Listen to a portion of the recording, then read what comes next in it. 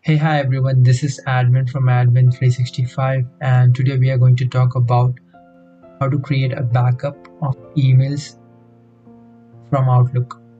So let's get started. So um, we have the Outlook open here and as you can see we have one account and all the emails in here.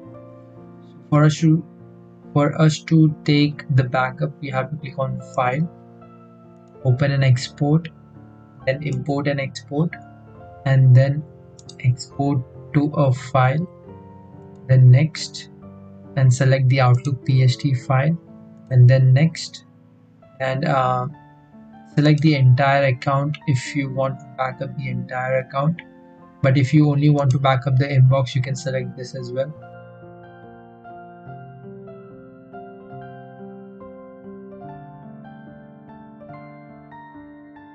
uh, if you have multiple accounts you may see them below it but you can select the account which you want to back up.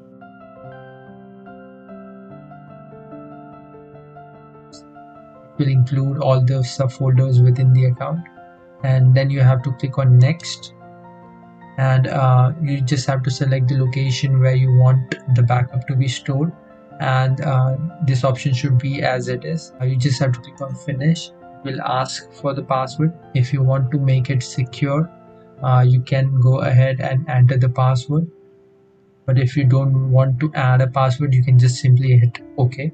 So i'm not going to do that because it will take a lot of time.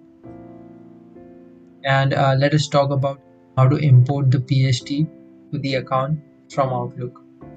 So we'll go to file and then open and export import and export and import from another program or file.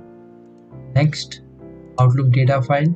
Next replace all the duplicates. That's fine. Uh, browse it to the location where you have the backup pst exported. So um, you just have to click on browse and select the pst file. And then you have to click on next and select the outlook data file it will show uh, it will show all the content within it.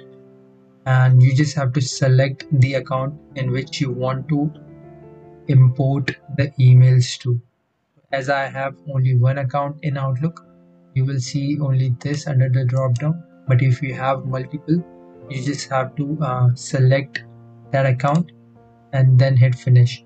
And uh, if you don't wish to have it in any account but still want to view it you just have to select uh, the first option that will just attach the out outlook data file as you can see it on the left side the same way and you can just expand it and view all the emails. So uh, for example we will do the second option and hit finish and it will start to import all the contents. And I didn't have any anything in the backup PST so it will not do anything but you will see a window here which basically states and show the shows you the progress. So do let me know guys if you have any question about this. And till then you have a nice day. Bye bye